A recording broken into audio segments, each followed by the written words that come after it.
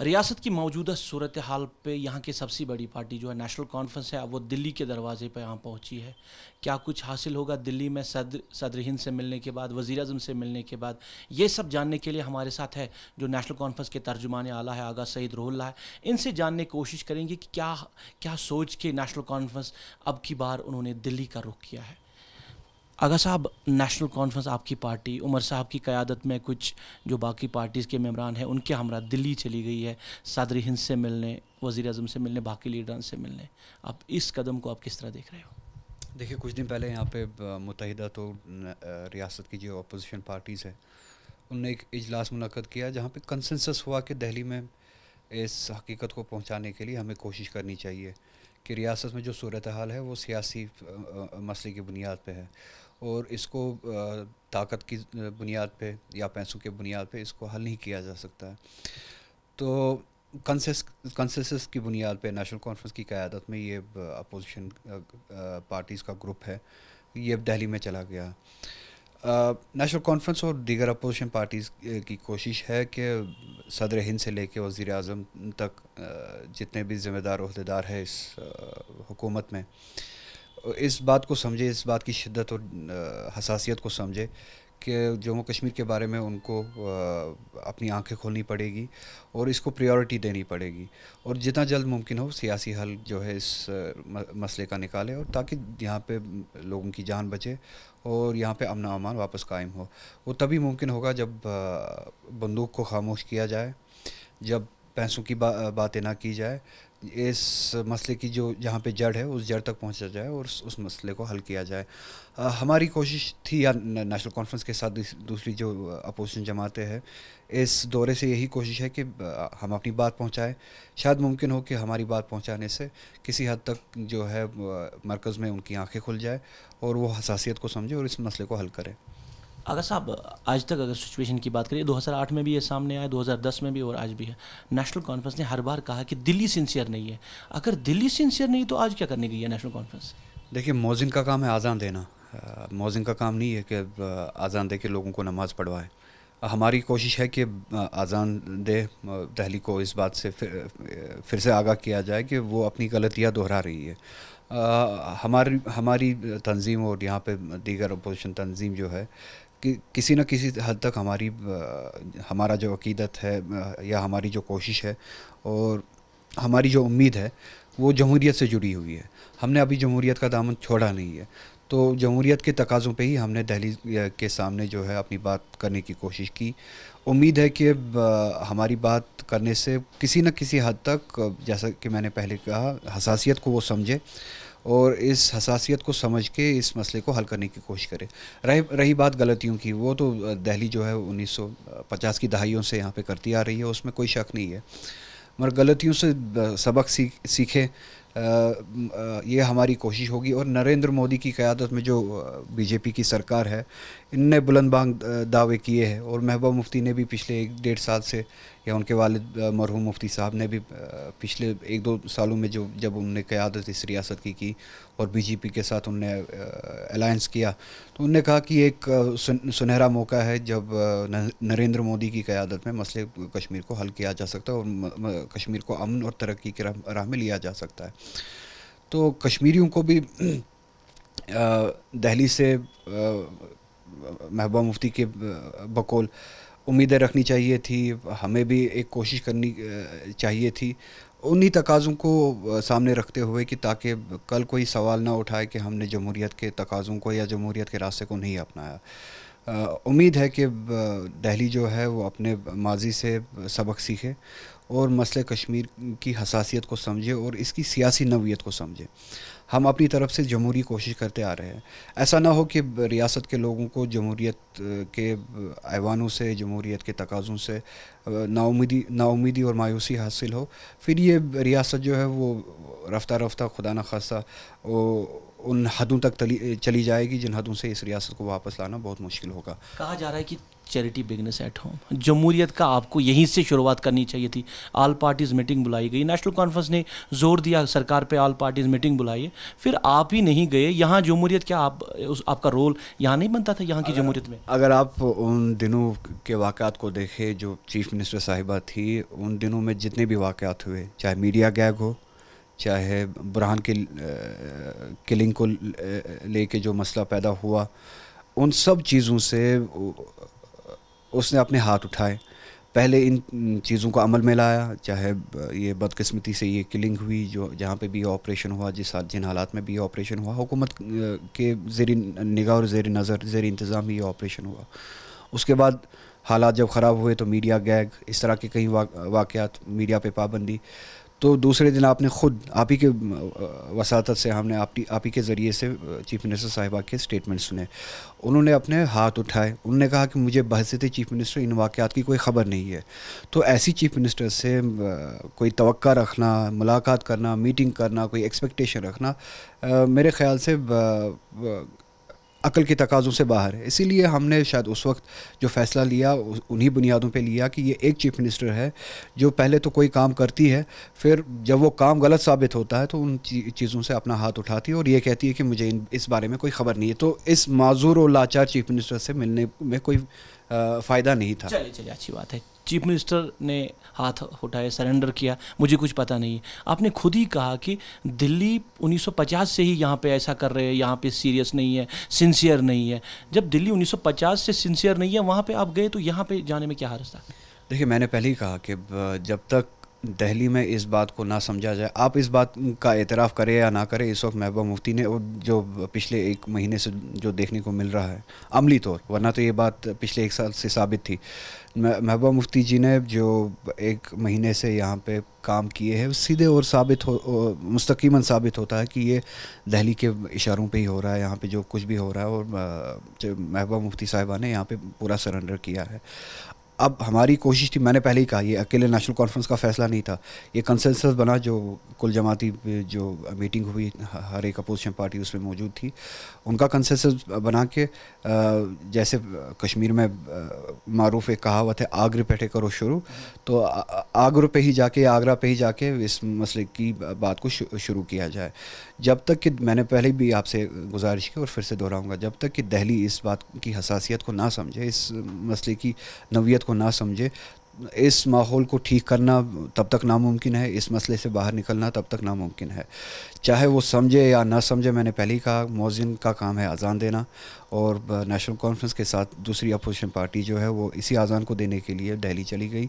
उम्मीद है सदर हिंद से लेके वज़ी अजम तक और दूसरे जो ज़िम्मेदार अहदेदार है, वो इस बात को समझे। किसी न किसी मौके पर कुछ दिनों पहले पार्लियामेंट से एक मुस्बत बात निकल के आई कि एक कंसेंसस बना पार्लियामेंट में बहुत सालों के बाद पहली बार कि मसले कश्मीर को लेके हिंदुस्तान को हसास होना पड़ेगा और इसको प्रायोरिटी पे हल करना पड़ेगा।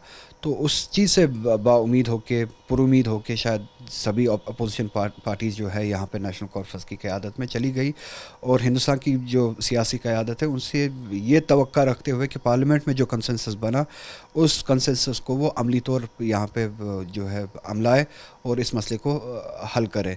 ये कोशिश जो है हमारी तरफ़ से एक अदना कोशिश है, शायद उतना नतीजा ना निकले जितना हमने तो रखा हो। मगर कम से कम नेशनल कॉन्फ्रेंस वो काम कर रही है और दीगर अपोजिशन पार्टीज़ वो काम कर रही है जो रियासत की हुकूमत में जो इस वक्त पार्टी है पीडीपी को करना चाहिए था। आप 2010 से वाकिफ़ है 2011 और 2009 के हालात से वाकिफ़ है, तब यही सबसे ज़्यादा वोकल पार्टीज़ थी पार्टी थी, जो इस तरह के माहौल को बिगाड़ने में आगे हुआ करती थी। तब तो ये कश्मीरियों की हमदर्द बना करती थी। हिंदुस्तान से लेके हर जगह, कश्मीर तक हर जगह हमदर्द बना करती थी। आज यही खामोश है, हर सूरत से इन्होंने, हर लिहाज से इन्होंने इन्होंने सरेंडर किया हुआ है। जो काम पीडीपी को करना चाहिए, रियासी हुकूमत को करना चाहिए था, वो काम मजबूर नेशनल कॉन्फ्रेंस को करना पड़ रहा है और अपोजिशन को करना पड़ रहा है। आपके जो पार्टी डेलीगेशन आपने बुलाया, यहाँ पर बुलाया था, कुछ मेम्बरान ने सवाल खड़े किए? तजाद सामने आ रहा है कि जो बात वहाँ पे कहनी चाहिए थी, उस, उसको नहीं कहा जा रहा है, उसके लिए रोका जा रहा है तो इसलिए हम इस डेलीगेशन में शामिल नहीं हुए हैं। और एक अहम सवाल, अगर आपने कहा कि क्या हासिल हो सकता है वहाँ पे तो कुछ आपके जो डेलीगेशन मेम्बरान ने उन्होंने कहा कि अगर कुछ हासिल नहीं हुआ तो हम मुस्तफ़ी हो जाएँगे। देखिए इनफरादी तौर पे हर एक अपना अपना फ़ैसला लेने के लिए आज़ाद है। किसको क्या फैसला फ़ैसला लेना है? नेशनल कॉन्फ्रेंस ना किसी पे अपना फ़ैसला थोपती है, ना, थोपने की कायल है। अपोजिशन की जो क़्यादत, अपोजिशन की जो टीम चली गई है दिल्ली, वहाँ से वापस आके सारे फ़ैसलों को या सारी चीज़ों को एसेस करके यहाँ पे जो फ़ैसला लेती है वो कंसेसन की बुनियाद पे होगा। अगर इस दौरान किसी इनफरादी शख्स ने कोई बयान दिया है और कोई बात कही है, उसके लिए वो जवाबदेह खुद है। उसके लिए जवाबदेह हमारी ज़िम्मेदारी, जवाबदेही हमारी ज़िम्मेदारी नहीं है। और जो यहाँ पे जो मीटिंग हुई थी, उसके बाद जो एक फ़र्द ने जो बातें कही थी, वो उसकी अपनी राय है। देखिए जमहूरीत के तकाज़ों में ये एक अहम नुकता है कि जब भी इस तरह का इजलास हो या कहीं कहीं पर भी बहस मुबासा हो, हर एक अपनी राय देता है। ज़रूरी नहीं है कि हर एक की राय पर जो है वो इतफ़ाक़ हो। मुतफ़िक तौर पे जो भी कंसेंसस बना मुतफ़िक तौर पे, वो आपके सामने इस वक्त है। उसमें से किसी की राय पे अमल किया गया, किसी की राय के साथ इतफ़ाक़ नहीं हुआ। जो भी हुआ मुतफ़िकन हुआ और जमहूरीत की बुनियादों पे हुआ। उसके बावजूद भी जो लोग ऐसी बातें कर रहे हैं, जो या, जो फ़र्द इस्तीफ़ा देने की या मुस्तफ़ी होने की बातें कर रहे हैं या जो कह रहे हैं कि हमारी बातों को वहाँ पे सुना नहीं गया, वो आज़ाद है। वो अगर मुस्तफ़ी होना चाहते हैं, जिसकी आपने बात कही, जो एक एमएलए है, जो उसमें पार्टिसिपेट कर रहे थे, वो आज़ाद है। वो किस चीज़ ने उसको रोका है कि अभी तक वो मुस्तफ़ी नहीं हुए हैं? पॉलिटिकल माइलेज गेन करने के लिए ड्रामाबाजी हर कोई कर सकता है। अगर वो वाकई तौर हमदर्द है और मुस्तफ़ी होना चाहते हैं तो वापस अपनी इंजीनियरिंग करें और मुस्तफ़ी हो जाए। किस चीज़ का वो इंतज़ार कर रहे हैं? डेलीगेशन में तो, भी डेलीगेशन में भी एक ऐसे आपके लीडर हैं जिन्होंने कहा कि हम वापस आके अगर कुछ हासिल नहीं हुआ हम्म। कुछ सदरीन से मिलने के बाद या बाकी लीडरान से मिलने के बाद कोई कंसेस नहीं लगा हमें कि कुछ हासिल हो सकता है तो हम मुस्तफ़ी हो जाएँगे। मैं फिर से कह रहा हूँ वो हर एक की इनफरादी जो है इनफरादी फ़ैसला जो है वो उस पर मुकदम है। कोई किसी पे थोपना नहीं चाहता। अगर कल को नेशनल कॉन्फ्रेंस को लगता है कि मुस्तफ़ी होने से ही मसले का शायद कहीं ना कहीं हल निकल सकता है वो नेशनल कॉन्फ्रेंस का फ़ैसला होगा। न कि किसी और का फ़ैसला होगा। इसी तरह से किसी इनफरादी शख्स का अपना फ़ैसला होगा। पीडीपी का कहना है कि हमें ये विरासत मिला है, जो भी यहाँ पे हालात है। विरासत में मिला है। सबसे बड़ा रोल जो है, वो नेशनल कॉन्फ्रेंस का यहाँ पे बनता है। अगर 53 से ही बात की जाए, आज तक जो भी हालात है, नेशनल कॉन्फ्रेंस जिम्मेदार है। और ये भी उन्हें कहा कि ये लोग, क्या बोलते हैं, तेल डालने का काम कर रहे हैं। जो आग लगी है, उसमें तेल डालने का काम कर रही है नेशनल कॉन्फ्रेंस। देखिए मीडिया और आप, आपके साथ ही हमारे जो दोस्त हैं मीडिया में, वो सब इस चीज़ के गवाह है और इस चीज़ की गवाही दे सकते हैं। कम से कम, हकीकत बुनियाद पे। 2010 और आज में आप फ़र्क कीजिए। तब अपोशन का क्या रोल था और आज आज की अपोशन का क्या रोल है? ये रोज़ रोशन की तरह आयान है और साफ़ है कि नेशनल कॉन्फ्रेंस बिलखसूस ऐसी अपोजिशन नहीं है जो आग में गीत डालने का काम कर रहे हो। हम, हमारी कोशिश है कि माहौल को सुधारा जाए और कश्मीर में अमन कायम हो। और लोगों की जान बचे। रही बात तारीख की और विरासत की। अगर विरासत में ही जाना है तो तारीख में ही जाना है तो कहने के लिए बहुत कुछ है। उन्नीस में जब यहाँ पे गवर्नर लाया गया अफसफा लागू किया गया और ये सब तबाही तब से ही शुरू हुई। वो वो सब मरहूम मुफ्ती सईद साहब का किया, कराया है, जिन्होंने यहाँ पे फोर्सेस भेजे। जिसका हम नुकसान उठा रहे हैं जिनने यहाँ पे अफसफ़ा लागू किया, जिसका हम नुकसान उठा रहे हैं जिनने यहाँ पे उस वक्त के चीफ मिनिस्टर की मुखालफत के बावजूद भी जगमोहन को यहाँ पे भेजा और उनने यहाँ पे कत्ल आम किया, गाँव कत्ल जैसा या मरहूम मीरवाइज के सानह जैसा इस तरह के वाक़ आपके सामने हैं। ये सब उस वक्त के होम मिनिस्टर की निगरानी में हुए, जो गवर्नर के ज़रिए ऐसे मामला जो पेश आ रहे थे। रही बात उन्नीस सौ तिरपन की। वो विरासत जो है वो मुस्बत विरासत है। मेरा सवाल है सभी जमातों से। अक्रॉस बोर्ड चाहे वो पीडीपी हो चाहे हुरियत कॉन्फ्रेंस हो चाहे जो भी हो ज, जिस तरह जिस समत भी बैठे हो। जब शेर कश्मीर शेख मोहम्मद अब्दुल्ला इसी लड़ाई के लिए सलाखों के पीछे डाले गए जिन्होंने रायशुमारी के लिए उस वक्त जंग लड़ी।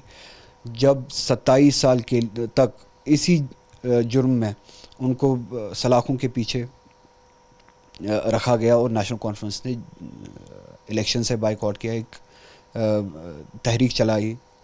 तब पीडीपी के हमारे दोस्त अक्रॉस बोर्ड में हर एक से सवाल कर रहा हूँ। तब यही लोग तो थे जो असेंबली में बैठे हुए थे जो इकतदार के मज़े उठा रहे थे। जो यहाँ पे कोशिश कर रहे थे कि शेख अब्दुल्ला साहब मरहूम की जो तहरीक है, उसको कमज़ोर किया जाए। सत्ताईस साल तक जिन्होंने जो तहरीक लड़ी शेख मोहम्मद अब्दुल्ला की क़्यादत में, या ख़ुद शेख अब्दुल्ला ने, सत्ताईस साल तक कश्मीर में क्या हो रहा था?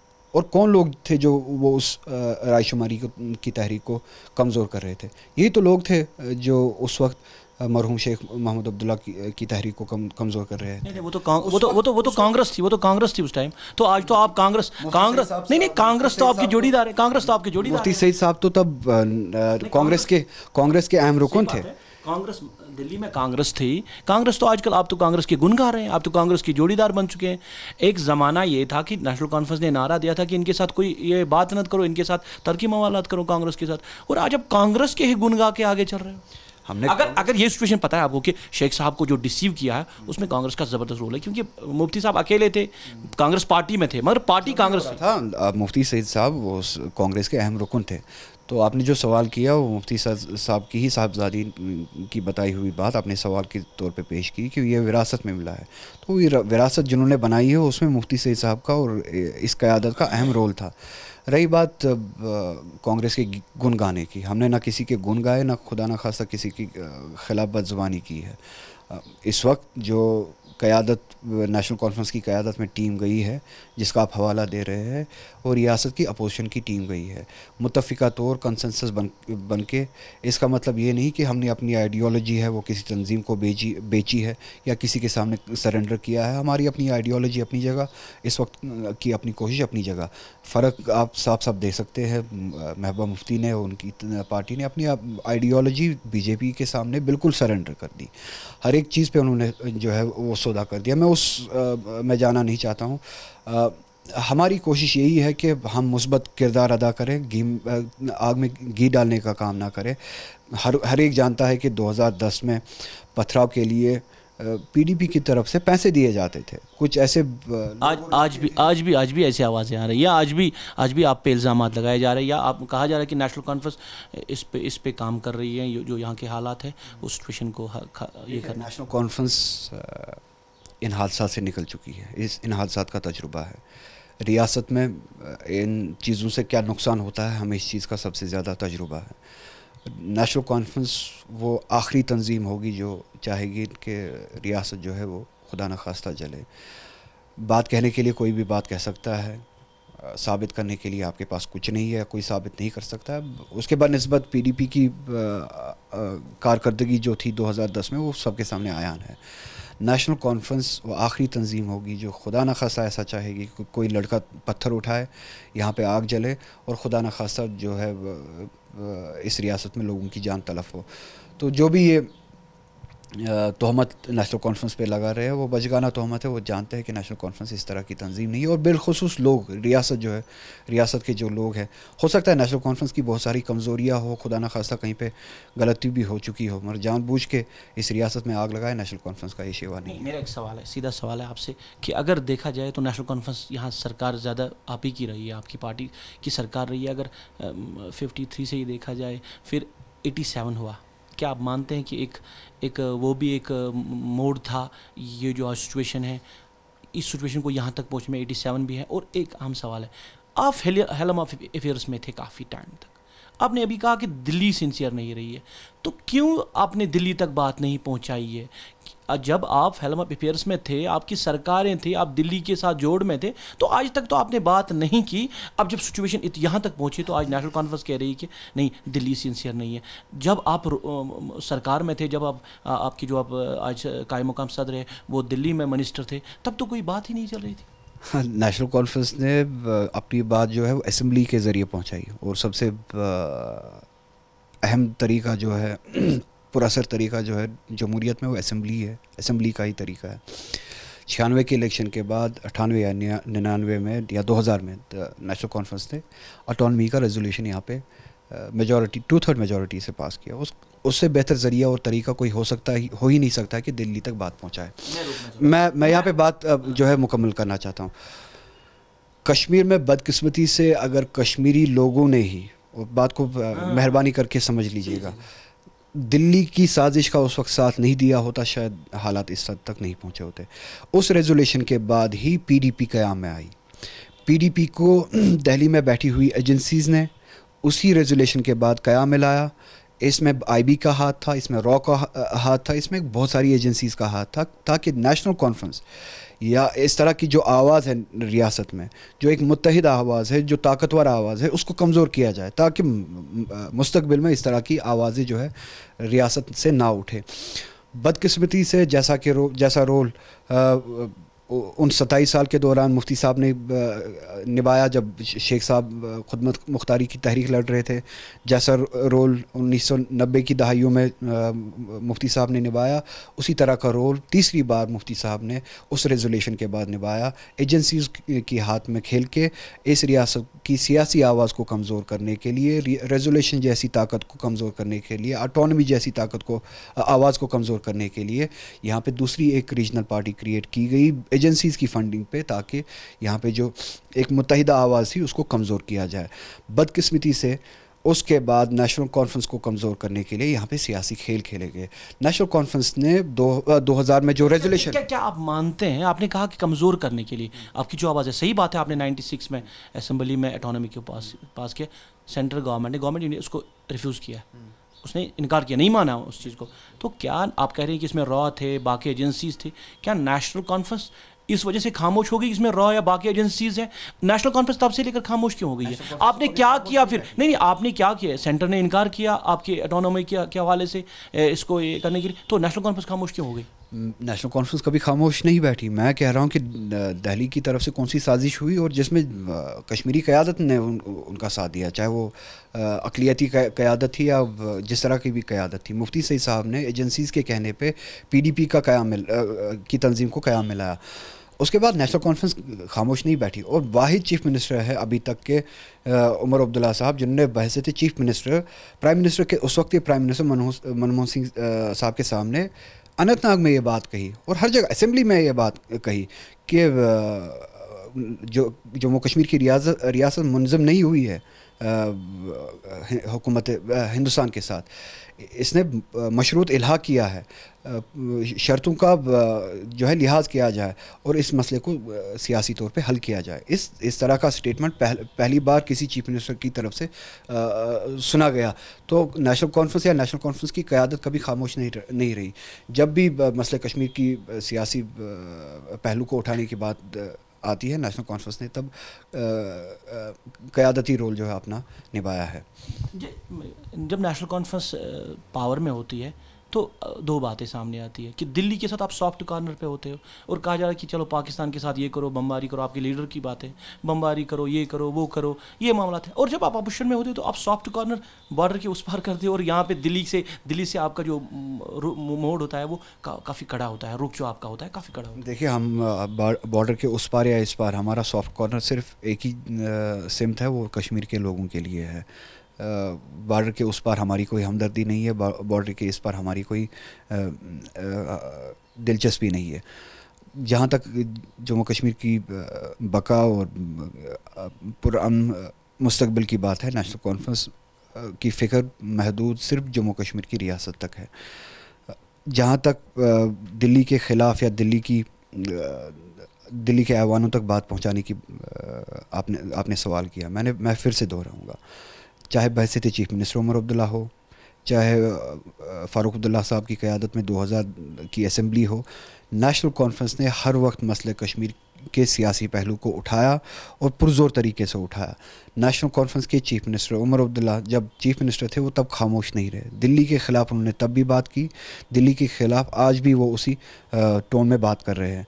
हमने तब भी कहा, आप अनंतनाग में जो रैली हुई, जहाँ जहाँ पे वज़ी अजम हिंद उस वक्त के मनमोहन सिंह साहब थे और सोनिया गांधी जी थी। उमर अब्दुल्ला ने बहसीत चीफ मिनिस्टर तब कहा कि पैसों से ये मसला हल होने वाला नहीं है। ये पैसों का मसला नहीं है, सियासी मसला है, इस मसले को हल कीजिए। इससे बड़ी बात जो है वो आज तक किसी चीफ मिनिस्टर ने बहसीत chief minister, prime minister of India के सामने नहीं कही है। असम्बली के स्पीचेस बहसीत चीफ मिनिस्टर उमर अब्दुल्ला के आप निकालिए। नेशनल कॉन्फ्रेंस के चीफ मिनिस्टर उमर अब्दुल्ला ने असम्बली में ये बयान दिया और स्पीच के दौरान कहा कि जम्मू कश्मीर की रियासत ने पुरशर्त या मशरूत इलाहा किया है हिंदुस्तान के साथ। ये इलाहा तब तक नामुकम्मल है जब तक उन शर्तों का लिहाज ना रखा जाए, उनका एहतराम ना किया जाए। ऐवान के फ्लोर से चीफ मिनिस्टर ये कहे कि ये मशरूत इलाक है इससे बड़ी बात आप चीफ मिनिस्टर से क्या तो कर सकते हैं? नेशनल कॉन्फ्रेंस से क्या तो कर सकते हैं कि वो बहसीत चीफ मिनिस्टर या हुकूमत के दौरान कहे? तो इस तरह की बात जो आज नेशनल कॉन्फ्रेंस कह रही है बहसीत अपोजिशन कोई नई बात नहीं है। ये बातें जो है उमर अब्दुल्ला साहब ने या नेशनल कॉन्फ्रेंस ने हुकूमत में भी कही है असम्बली में भी कही है और हर आयवा में कही है बहसीत चीफ मिनिस्टर भी कही है बहसीत रूलिंग पार्टी भी कही है। तो ये तहमत लगाना कि नेशनल कॉन्फ्रेंस तब खामोश होती है और अब आवाज़ उठा, उठाती है नामनासिब है आप रिकॉर्ड्स को निकालिए। देखिए नेशनल कॉन्फ्रेंस के ख़िलाफ़ एक प्रोपोगंडा चला। पहले बंदूक की बुनियाद पे चला नब्बे की दहाइयों में। अब बहुत सारी बुनियादों पे यहाँ पे प्रोपोगंडा चला। नेशनल कॉन्फ्रेंस की जायज़ तारीख को जो है यहाँ पे छुपाने की कोशिश की, की गई। और वो कोशिश आज भी हो रही है। इस दौरान नेशनल कॉन्फ्रेंस से कुछ खुदा न खास्ता जानबूझ के कहीं पे गलती नहीं हुई। हाँ बशर के हाथों से कभी गलतियाँ हो, होती है। उस चीज़ को बड़ा चढ़ा के पेश किया गया और जायज़ तारीख जो है उसको छुपाने की कोशिश की गई। उसी का नतीजा है कि आज आप ये सवाल कर रहे हैं कि बहसीत अपोजिशन नेशनल कॉन्फ्रेंस ये बातें उठाती है बहसीत हुकूमत ये बातें नहीं उठाती है। अगर आप तारीख को देखें, नेशनल कॉन्फ्रेंस ने हुकूमत में या हुकूमत से बाहर, हमेशा नेशनल रियासत जम्मू कश्मीर की बात कही और इस सियासी मसले को हल करने के लिए अपनी आवाज़ और अपनी राय जो है वो सामने रखी है। दो हज़ार दस में आपके सामने सिचुएशन आई कि अफजल गुरु को फांसी दी गई है तो उमर साहब का ये भी आया कि जैसे आप कह रहे हैं कि मोहब्बत जी ने सरेंडर किया तो उमर साहब ने भी सरेंडर किया कि मुझे पता नहीं था कि अफजल गुरु को फांसी दी गई। एक तो ये सवाल है। दूसरा कि फिर नेशनल कॉन्फ्रेंस ने क्या किया? आपने क्या किया सिचुएशन को हैंडल करने के हवाले से? अगर आप उस टाइम ऐसा जो आज आप कर रहे हैं ना जो आज आप कदम उठा रहे हैं अगर शायद नेशनल कॉन्फ्रेंस 2010 में उठाया होता तो एक अलग ही नतीजा इस टाइम सामने होता। 2010 में नहीं 2011 में जब अफजल गुरु की बदकिस्मती से जो फांसी पेश आई देखिए वो मरकज़ का मसला था सुप्रीम कोर्ट ने जजमेंट दिया था। वो उसका एफआईआर स्टेट में लागू नहीं हुआ था। ये एक प्रोपागेंडा है, ये नेगेटिव कैंपेन जो है नेशनल कॉन्फ्रेंस के ख़िलाफ़ फैलाई जा रही है तब से और जो हकीकत नहीं है। एफआईआर जो लॉन्च हुआ था स्टेट का नहीं था। उसमें कोई अमल दखल जो है स्टेट की गवर्नमेंट का नहीं था। यहाँ तक कहा जा रहा है कि नेशनल कॉन्फ्रेंस के चीफ मिनिस्टर ने तब, उसकी फांसी के अहकाम पर दस्तखत भी किया। आप कानून दान जो, जितने भी हैं, उनसे बात कीजिए। अक्रॉस बोर्ड जितने भी लॉयर्स है या कानून दान है, उनसे बात कीजिए। जो इस स्टेट का सब्जेक्ट ना हो, जो केस इस स्टेट का सब्जेक्ट ना हो, जो एफआईआर इस स्टेट का ना हो, उसमें नेशनल कॉन्फ्रेंस हो या कोई भी क़्यादत हो, जो हुकूमत में हो, उस वक्त उन उनके दस्तखत की ज़रूरत नहीं होती है। वो तब सुप्रीम कोर्ट की जजमेंट थी और उस वक्त के होम मिनिस्टर ने वो हेस्ट में आके या जल्दबाजी में जो फ़ैसला लिया, बदकस्मती से जो भी फ़ैसला हुआ ये बात जायज़ हकीकता साबित है कि नेशनल कॉन्फ्रेंस हो या जो भी हुकूमत हो, उस वक्त उसका कोई लेना देना उस केस के साथ नहीं था। जिस सुबह अफजल गुरु को फांसी दी गई, उस रात को चीफ मिनिस्टर को फ़ोन पे बताया गया कि इस तरह का कदम उठाया जा रहा है। तो वेल इन एडवांस इस तरह का कोई इंकशाफ नहीं था या इस तरह की कोई बात नहीं थी, जिसको, जिसके ख़िलाफ़ लड़ने के लिए उमर अब्दुल्ला साहब के पास वक्त हो। आज उसके बदले आप तोज़ुन कीजिए। मीडिया गैग या मीडिया के हाउसेस पे या प्रिंट हाउसेस पे छापे मारे जाते हैं। ये क्या दिल्ली की तरफ़ से होता है? ये क्या दिल्ली की पुलिस आती है? स्टेट पुलिस करती है। स्टेट अपरेटस जो है, स्टेट इंतज़ामिया जो है आपका करता है। दूसरे दिन आपकी चीफ मिनिस्टर कहती है कि पुलिस कहाँ गई? मुझे नहीं पता। पुलिस ने क्यों छापा डाला? मुझे नहीं पता। बुरहान वानी की का जो एनकाउंटर होता है आपकी चीफ मिनिस्टर कहती है कि मुझे एनकाउंटर के बारे में कुछ पता नहीं।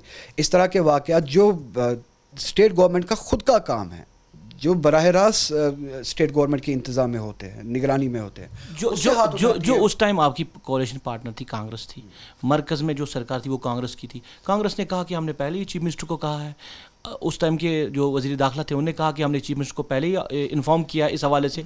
और फिर भी आप सरकार में रहे उसी पार्टी को लेकर आज जो आप कह रहे हैं कि इनको बीजेपी का पीडीपी और बीजेपी का कह रहे हैं उस टाइम अगर आ, आप आप पे ये आप कह रहे हैं कि इल्ज़ाम है खाली नेशनल कॉन्फ्रेंस को बदनाम करने की कोशिश है फिर आप सरकार में क्यों रहे इनके साथ? एक भी एक स्टेटमेंट आप ला के दे दीजिए जो साबित करे कि बहुत पहले चीफ मिनिस्टर को ये बता दिया गया हो कि इस तरह का वाक़ पेश आने वाला है। खुद उस वक्त के होम मिनिस्टर ने ये कहा कि जिस सुबह वो हादसा पेश आया या जिस सुबह वो फ़ैसला लिया गया, वो, या वो फ़ैसला अमलाया गया, उस रात को ही, या चार पाँच घंटे पहले, तीन घंटे पहले चीफ मिनिस्टर को फ़ोन पे ये बताया गया कि इस तरह का अमल होने अमलाया जाने वाला है। देखिए 2010 में 2011 में क्या हुआ, क्या नहीं हुआ नेशनल कॉन्फ्रेंस ने क्या किया, क्या नहीं किया, उसका खामियाजा नेशनल कॉन्फ्रेंस ने उठाया। उसका नतीजा निकल चुका है, उसका रिज़ल्ट आ चुका है, उस पर अपनी जजमेंट जो है लोगों ने दे दी है।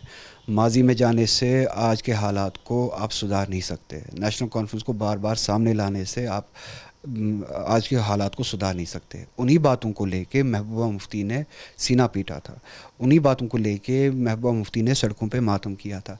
उन्हीं बातों को लेके उस तरह की तंजीमों के साथ नेशनल नेशनल कॉन्फ्रेंस के ख़िलाफ़ महबूबा मुफ्ती ने यहाँ पे काम किया जो तंजीमें इलेक्शन बाइकआउट में यकीन करती थी जो पाकिस्तान में यकीन रखती थी।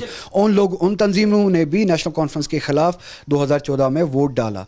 महबूबा मुफ्ती ने वादे किए थे उन्हीं चीज़ों को यहाँ पे सुधारा जाएगा।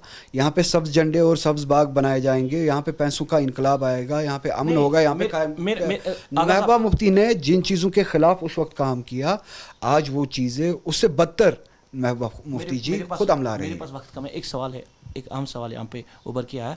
आपने कहा कि नेशनल कॉन्फ्रेंस को सज़ा मिली उस चीज़ की कि जो भी वहाँ पे उस टाइम 2010 में सिचुएशन हुई आपको सज़ा मिली है। और पीडीपी ने उस टाइम काफ़ी अपोजिशन का रोल निभाया। और आज अगर आपका कहने के मुताबिक अगर ये सरकार में है तो उसी वजह से। क्या आप इस चीज़ को सर, सियासी तौर देख रहे हैं कि नेशनल कॉन्फ्रेंस और पीडीपी यहाँ की दो बड़ी पार्टियाँ हैं कि आ, आप इन पर इल्ज़ाम लगाइए और वोट गेन करिए और वो आप पे इल्ज़ाम लगाए वोट गेन करिए। और जो लोगों का मसला है जो यहाँ पर जाने तलफ हो रही है ये सिलसिला चलता रहे। कोई कंपरेटिव हल की तरफ़ आप दोनों पार्टियाँ क्यों नहीं जाते हो? देखिए जब हल्की बात करते हैं तो आप कहते हैं कि अब सियासत करते हैं जब हकीकत बताते हैं तो आप कहते हैं नहीं नहीं नहीं नहीं मैंने नहीं नहीं नहीं मैंने आपके आपके सवाल आपने कहा कि हमें सज़ा मिली है। अब पीडीपी का ये हाल हो रहा है तो इनको सज़ा मिलेगी नेशनल कॉन्फ्रेंस सरकार में आएगी। पर इस चीज़ से आप इसको देख रहे हैं कि आप सरकारें बनाने के लिए फिर क्या मैदान में आ रहे हो? ये बदकिस्मती होगी अगर इस माहौल से कोई सरकार बनाने की कोशिश कर रहा हो। ये आप आप आपकी तरफ़ से मेरे ख्याल से नाजायज़ सवाल है इस माहौल में इस इन हालात में आप सरकार बनाने की बात करें। नहीं, नहीं, इस वक्त नहीं मैंने बोला आपने आपकी आपकी जो 2002 में सिचुएशन हुई इलेक्शंस हो गए तो नेशनल कॉन्फ्रेंस का आपने कहा कि उनको भुगतना पड़ा कि आप अपोजिशन में है आप सरकार में नहीं है और पीडीपी ने गेन किया। मैं मेरे कहने का मतलब है क्या आप यही कहना चाहते हो कि उन आपको जो सज़ा मिली है वो पीडीपी को अब मिलेगी और आपकी सरकार बनेगी फिर फिर फिर पीडीपी का आप मजबत सोच लेके क्यों सामने आ रहे हो? दोनों पार्टियों से ये है कि मजबत सोच लेके सामने आए जो यहाँ पे जाने तलफ हो रही जो नौजवानों को मारा जा रहा है इसके लिए कोई एक, एक मजबत सोच रखिए सामने आइए। ये आप कह रहे हैं मेरे ज़ुबान पे आप या मेरे मुँह में आप अपनी बात ना डालें ये आप कह रहे हैं आपका अपना तजिया है कि हुकूमत के लिए या हुकूमत का फ़ायदा उठाने के लिए यहाँ पर बातें हो रही है। नेशनल कॉन्फ्रेंस ने जो अभी तक कोशिश की और इस दौरान जितनी भी कोशिश की, वो सिर्फ़ और सिर्फ़ रियासत में अमन कायम होने की बात की कोशिश की और लोगों की जान बचाने की कोशिश की। रही बात मुस्बत कोशिश की।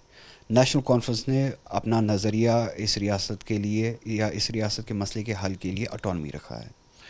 उमर अब्दुल्ला के आप स्टेटमेंट निकालिए। एक वाहिद ऐसी क़्यादत है। देखिए, बहुत चीज़ें हैं जो यहाँ की मीडिया भी छुपाती है या बहुत सारे ज़राए यहाँ पे बात नहीं करते हैं। अगर उन पे बात होती तो शायद सब कुछ शफाफ होता। उमर अब्दुल्ला वाहिद एक ऐसी क़्यादत है जिन्होंने कहा कि नेशनल कॉन्फ्रेंस का नज़रिया ऑटोनमी है। अगर हिंदुस्तान, पाकिस्तान और कश्मीर में कोई क़्यादत है जिनके सामने ऐसा कोई नज़रिया है या ऐसा कोई फ़ैसला है जो हर किसी को काबिल कबूल हो, जो अमलाया जा सकता है जिस पर अमल हो सकता है। नेशनल कॉन्फ्रेंस उसके सामने सरेंडर करने के लिए तैयार है। इससे ज़्यादा मुस्बत क्या हो सकता है?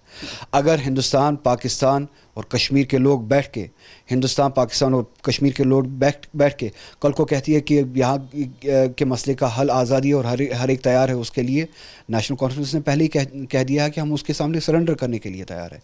अगर नेशनल कॉन्फ्रेंस के सामने अटोनमी है पीडीपी इस तरह की बात कहे कि हम अटोनमी के सामने सरेंडर करने के लिए तैयार है, क्योंकि ये एक वाहिद ऐसा हल है जो सबको काबिल कबूल हो सकता है।